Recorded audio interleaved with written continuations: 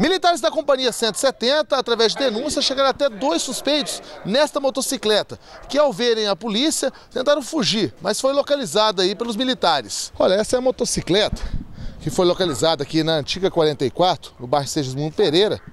A gente observa aí placas de buritizeiro, uma motocicleta aí YBR vermelha. Segundo informações da polícia, os suspeitos que estavam nessa motocicleta disseram que chegou a pagar 50 reais nessa motocicleta. Você pagou um valor de 50 reais? Sim, senhor. Mas essa história tá muito assim, da carochinha, não tá não? Mas, senhor, foi o que aconteceu, né, senhor? Só você vai assumir a bronca sozinho? Não, senhor, mas ele não tinha nada a ver com isso mesmo, não. Eu fui só dar uma carona e. Deu tudo. mas é uma bronca muito cedo pra você assumir sozinho, né? Mas, senhor, mas eu fiz sozinho, né? Eu não vou pôr o cara que não tem nada a ver no frio, né, senhor?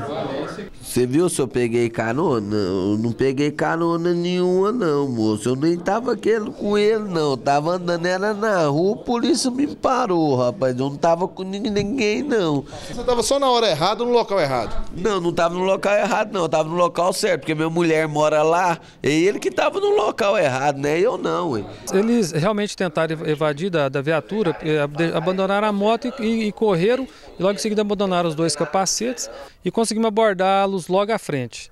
E ao entrevistar um deles, ele nos confessou que havia comprado essa moto, um Yamaha YBR, em ótimo estado de conservação, um veículo até novo, pela quantia de 50 reais. E perguntado a ele é, aonde ele havia comprado essa moto e de quem ele havia comprado, é como sempre, né? Ele disse que não, que não conhece a pessoa, que a pessoa tinha apenas era moreno, baixo e, e, e tinha sotaque nordestino. E não sabe, não sabe quem que é, simplesmente ofereceu para ele por 50 reais, ele achou atrativo e comprou e adquiriu a moto.